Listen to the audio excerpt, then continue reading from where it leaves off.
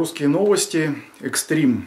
Снова говорим о преследованиях русских людей за экстремизм и продолжаем тему преследования русского поэта Николая Боголюбова, который находится под судом за свои стихи, за четыре сборника, э, четыре книги, три из них это сборники стихов. Одна книга посвящена Петру Краснову, известному казачьему атаману, э, его жизни, его трагедии, его героизму, его жизненной позиции.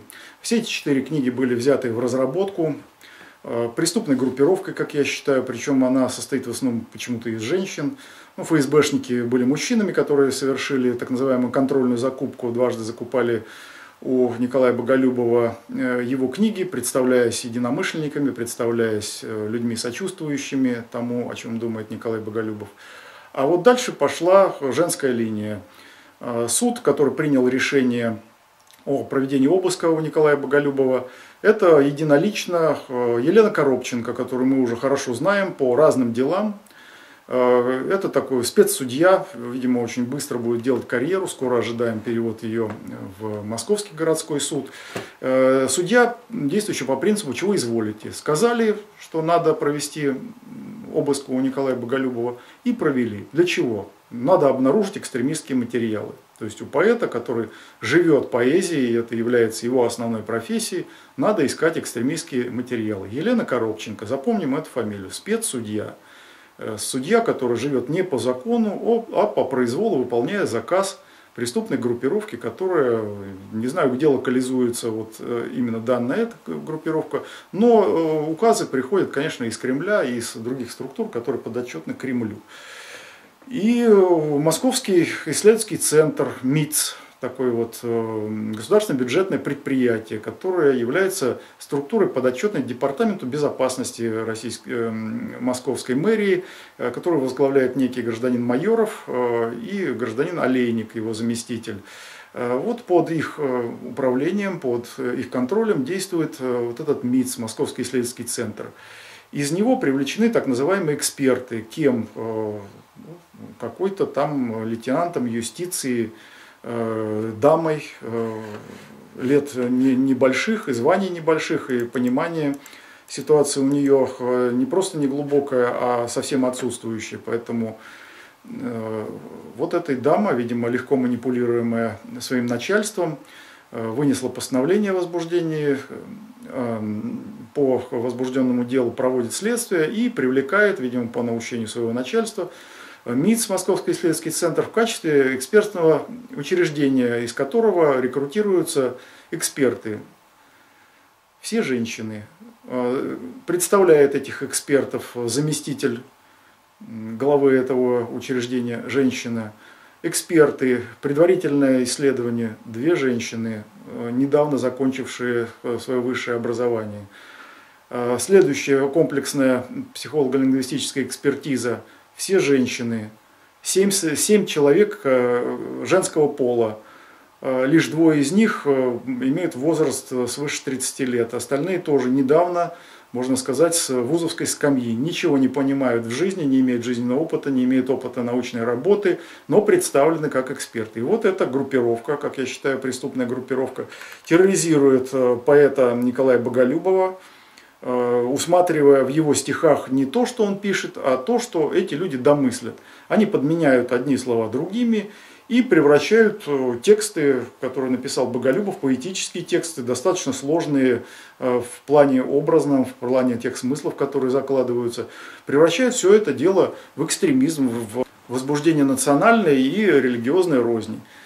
Эти бредовые экспертизы превращаются в, потенциально в решение суда. Поэтому я лично беру на себя ответственность э, анализировать то, что понаписали эти эксперты, огласить все это, если приведется, огласить это все в суде. Правда, если будет судить госпожа Коробченко, то там приговор-то уже заранее ясен. Но я и в лицо ей скажу все, что я думаю об этих экспертах. Если э, меня будет приглашать э, адвокат или сам подсудимый, Николай Боголюбов, невольный подсудимый, э, то я все, все скажу об этих экспертах, все, что я о них думаю. Ну, а зрителям русских новостей я подробно процитирую все, что э, я намереваюсь сказать и что уже превратил в некий текст, который ляжет в основу э, моего мнения специалиста, которое может быть и должно быть использовано судом, если суд намеревается установить истину. Ну, естественно, без воли Боголюбова и его адвокатов я действовать не могу, поэтому как только я получу э, соответствующий запрос э, от адвоката или от самого подсудимого, я все оформлю в соответствии с законом, подпишу, печати, заверяющей подпись проставлю и сам готов буду прийти в суд и дать, э, дать показания. Хотел бы зачитать обращение поэта Николая Боголюбова во имя Отца и Сына и Святого Духа. Аминь, уважаемые дамы и господа, дорогие братья и сестры, православные русские люди. Я православный поэт Николай Боголюбов, обращаюсь к вам с просьбой призывом поддержать меня в тяжелой борьбе с тайной беззакония, принимающей в последнее время самые наглые и вероломные формы. 30 сентября 2014 года следственным отделом Замоскворецкой прокуратуры ЦАО старшим следователем Потоцкой против меня было возбуждено уголовное дело – по э, знаменитой 282 статье. В моих книгах, поэтических сборниках «Русский огонь», «Заря близка», «Пламя русской судьбы», в книге «Генерал Краснов. Воин Святой Руси», автором, состоятелем которой я являюсь, старший следователь Потоцкая на основании преступных и лживых экспертиз усмотрела умысел на возбуждение ненависти и вражды, а также на унижение достоинства группы лиц по признакам национальности и отношения к религии. Позднее она добавила и статью 280 часть 1 «Публичные призывы к экстремистской деятельности», Потерпевших, пострадавших, униженных, возбужденных нет. Публичность же состоит в том, что мои книги обманом выудили у меня переодетые сотрудники органов по борьбе с экстремизмом. И закупки э, и экспертизы были сделаны заранее, в течение 13-14 годов, о чем я и не подозревал. 10 ноября 2014 года в 7 часов утра внезапно ко мне на квартиру нагрянула группа полиционеров под предводительством следователя Замоскворецкого МРСО, Московский региональный следственный отдел города Москвы, лейтенанта юстиции Иванова. ДЕ зафиксируем. После длительного обыска они вынесли две, два больших мешка книг, ноутбук и детский планшет. В течение года шло следствие. Ну вот так, просто пришли, ограбили, и по, это, под видом все делается закона.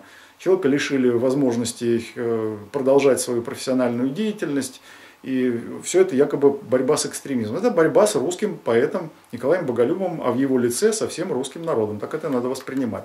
В июне 2015 года старый, старший след, следователь, очень молодой следователь Потоцкая, назначила проведение повторных экспертиз, после чего 17 июня 2015 года года, в день 97-й эм, годовщины казни царской семьи, мне было предъявлено постановление о привлечении в качестве обвиняемого. Вот у нас замечательно, сначала грабят, вот так, как э, поступили с э, Боголюбовым, а потом, через некоторое время, объявляют э, обвиняемым.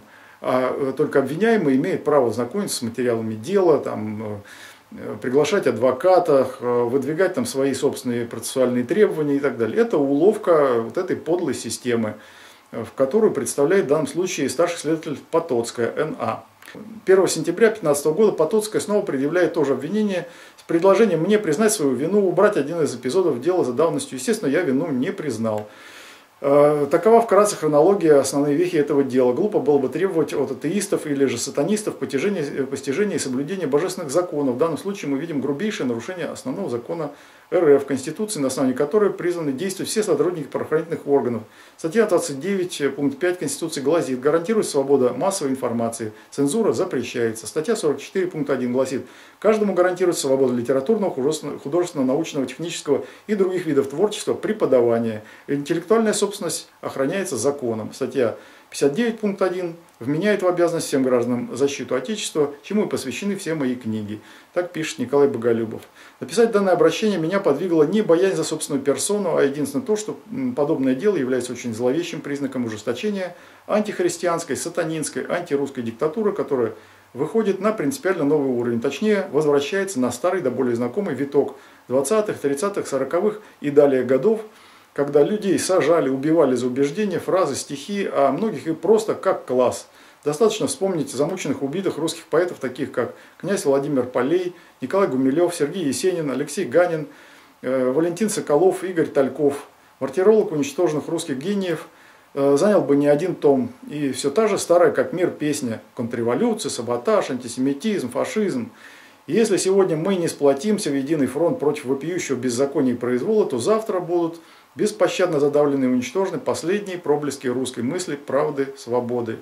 Повторюсь, что дело, возбужденное старшим следователем Замоскворецкого МРСО э, города Москвы Потоцкой, не только носит откровенно богоборческий характер, но и открыто вызывающий противоречит многим статьям Конституции. Вместо того, чтобы бороться с преступностью, оперуполномоченный 5 отдела ЦПЭ МВД России по Москве капитан полиции Самарин, АЮ, старший уполномоченный 2 отдела ГУПЭ МВД России, майор полиции Орлов, ДВ, сотрудник 5 отдела ЦПЭ ГУВД, э, ГУ МВД России по городу Москве Воропанов НА, прикинувшись православными христианами, идут обманом закупать православные стихи для проведения цензуры, запрещенной основным законом страны, который они присягали служить. Ну, они подлецы по призванию, а закон у нас ведь что дышло, да, вот они поворачивают его, куда им вздумается, им это выгодно.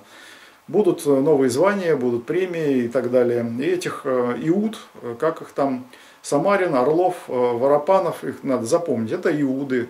Это иуды, которые обслуживают богоборческий русофобский режим. Вот теми методами, которыми они пользуются. Они-то считают, может быть, что они ни при чем, но они при чем. Они начало цепи преступных деяний. Далее книги направляются в ГБУ МИЦ Москвы, где экспертами Левоческой, Корниловой, Гуриной, Фатеевой делают совершенно безумные преступные экспертизы. Я их читал, даже комментировать невозможно. Я более распростран... развернутые э, материалы буду цитировать и буду рассказывать о них. Наряду с прочим, в этих, э, в этих экспертизах все евреи записываются в иудеи, жидобольшевики, палачи России – жиды и во все иные отрицательные эпитеты, что, естественно, никак, никоим образом не следует из анализируемых текстов. Это было бы слишком безумно и нелепо. Более того, в этих экспертизах черным по белому пишется «Благородные русские лица в ослепительно белой Москве», цитата из стиха. Это образ, связанный с идеологией фашизма, нацизма, расизма. Белая Русь. Образ, связанный с идеологией фашизма, нацизма, расизма. Арийский крест, то же самое. Действительно это так. Вот эти безумные эксперты, они пишут, их просто сжигает ненависть к России и к русским вот этих экспертов.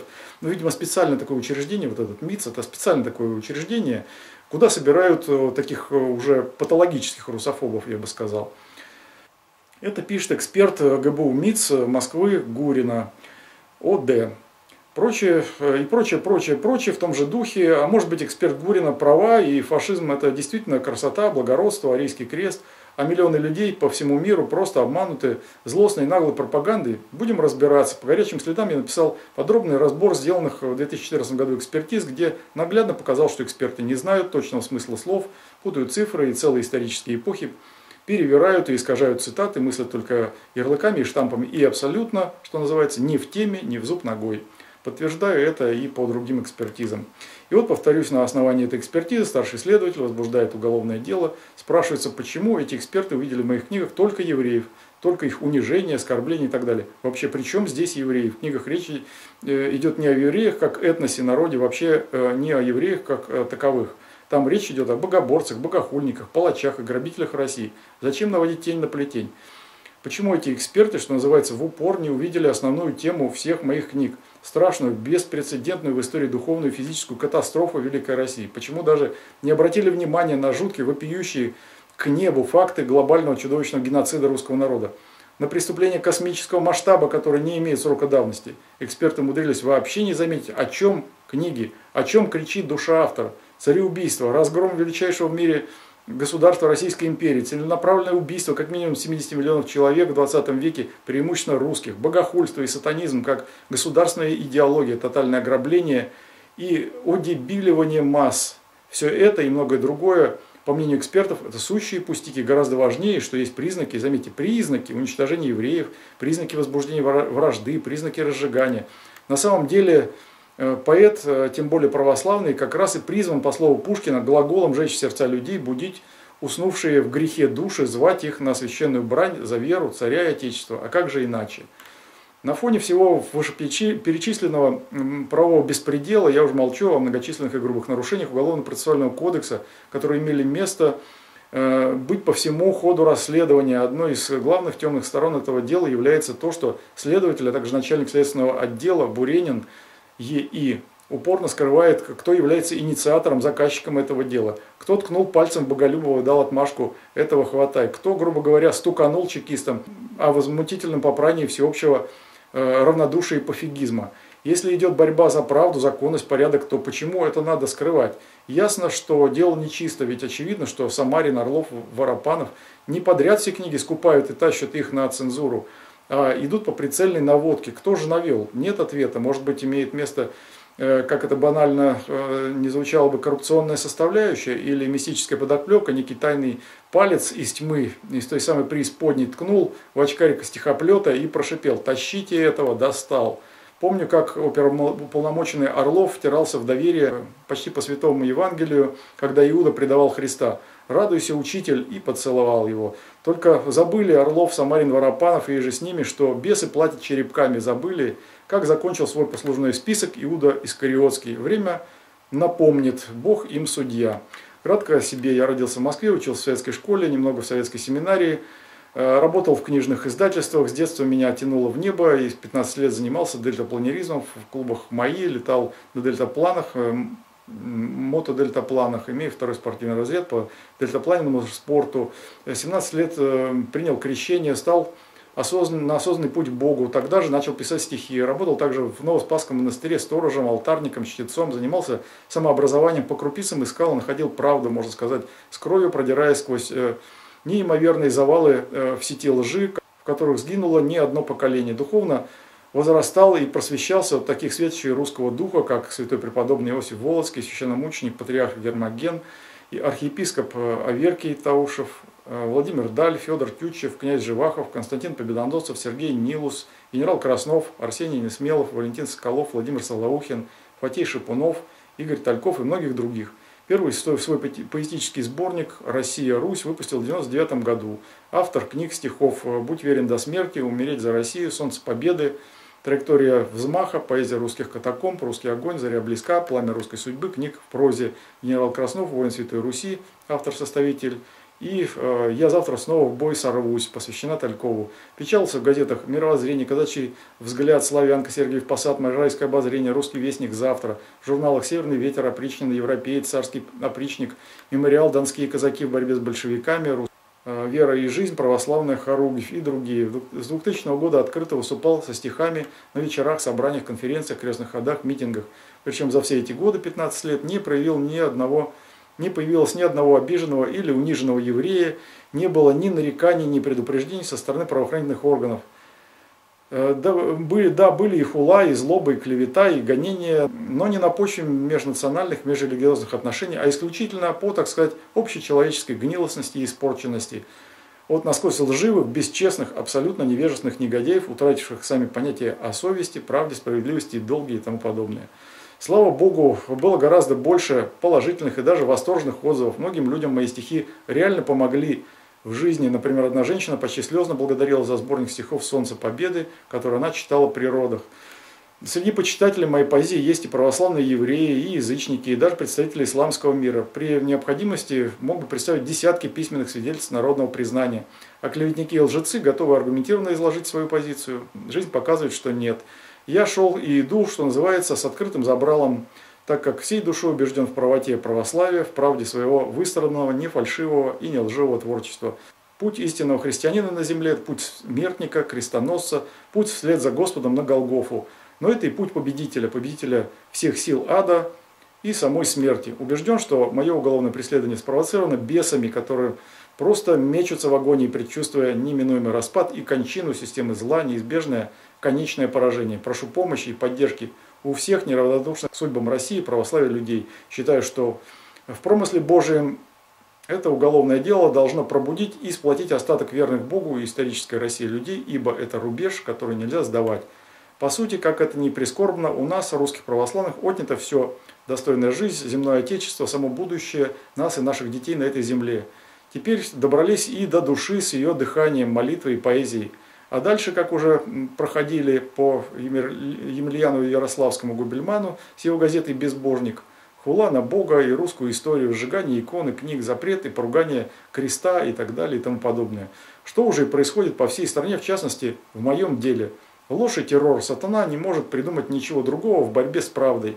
Если так пойдет дальше, скоро запретят просветитель святого преподобного Иосифа Володского, слово против иудеев, святого Иоанна Златоустова, слово о законе и благодати митрополита Илариона и многие-многие другие творения святых отцов и учителей церкви, да и само Святое Евангелие. Как мы знаем, дьявол в безумии и злобе не насытен. Наша страна, искалеченная, убитая сатанинским экстремизмом в 20 веке, как никогда нуждается в правде и свободе. К свободе мы придем только через правду, как писал русский философ Иван Ильин. Золотые слова. Еще раз прошу всех самой всесторонней поддержки, духовной, молитвенной, информационной, юридической, материальной, по возможности иной. Спасибо вас Христос. С Богом. Николай Боголюбов. Телефон 8 917 543 47 31. Номер карты Сбербанка России – 427 688 01 330 58 861 для пожертвований на юридическую и издательскую деятельность. Э, таким образом, Николай Боголюбов фактически очертил все то, с чем мы столкнемся, когда будем рассматривать экспертизы по его делу. Об этом мы подробнее расскажем в других передачах, а сейчас я просто хочу как-то поддержать Николая Боголюбова и э, вместе с ним обратиться к тем, кто может оказать какую-либо помощь ему. Э, юридическую помощь действительно у нас юристов, которые могли бы действительно квалифицированно помочь в этом деле, очень немного. Материальную помощь, потому что работа э, и юриста, и всех, кто так или иначе не может э, помогать иным образом, кроме как за деньги, должна оплачиваться. И вот те опубликованные данные можно позвонить по прямому телефону, потому что это была открытая публикация, поэтому и цитирую телефон, по которому можно обратиться к Николаю Боголюбову. И э, перечислить деньги на, те, э, на ту карту Сбербанка, номер который я огласил. Вместе с Николаем Боголюбовым я стою по одну сторону баррикад, надеюсь, как и те, кто смотрит русские новости. Русские за русского. И добавим, все за Бога и царя. Вот тогда все будет нормально, тогда русское мировоззрение будет выстраиваться в правильном русле. В данном случае, конечно, все бесы сплотились для того, чтобы примерно наказать Николая Боголюбова, чтобы русский дух замер, чтобы русское творчество прекратилось. Но они не угадали. Русское творчество будет продолжаться в любом случае, какой бы ни был приговор, подлый или справедливый. Я, конечно, рассчитываю, что приговор будет подлый, потому что вся система судопроизводства и вся система э, правоохранительная, вся пропитана сатанизмом. Это действительно так. Тут Николай Боголюбов абсолютно прав. Поэтому призываем к сплочению и поддержке э, русских людей. Э, в любом случае, в любом случае, какие бы приговоры ни были, мы не должны опускать руки, мы должны сопротивляться тому бесовству, которое захватило всю страну, в том числе и многих русских людей, у которых э, от русского остались только одни фамилии, больше ничего. Вот в частности этих правоохранителей, на которых мы ссылаемся, и чьи фамилии мы произносим, этих экспертов, тоже совершенно отвратительных, Э, опутанных мировоззрением большевистским, антиправославным, мы стоим против них в любом случае, потому что стоим на стороне истины. Они стоят на стороне лжи, беспрерывно лгут. И об этом говорят все экспертизы, которые мы подробно рассмотрим. И подробно разглядим все уловки беса, которые в этих экспертизах присутствуют. Мы видим, как они действуют, как они изворачиваются, как они искажают слова, как они э, совершают подлоги. Все это раскрылось, можно сказать, вот в тех четырех экспертизах, которые мне довелось изучить и проанализировать. В следующий раз мы об этом поговорим подробнее.